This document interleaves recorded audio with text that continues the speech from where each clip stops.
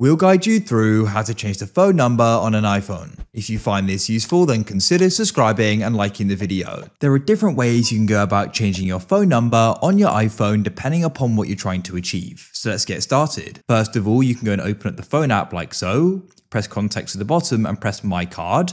If you want to go and change the number, which is for your card, you can go and press edit in the top right and then you can go where it says iPhone and type in the number you want to be for your card here. When you finish, you can then press done and it'll be saved. Now, if you want to go and change the phone number that you receive and make calls with on your iPhone, what you'll either need to do is go and contact your carrier and get them to go and change it, or alternatively, you can go and get yourself a new SIM card. And then what you can do is remove the current SIM card, you can pop it out, and you can then go and put a new one in there. And then you'll go and get a new number. But it's also worth trying and getting in contact with your carrier.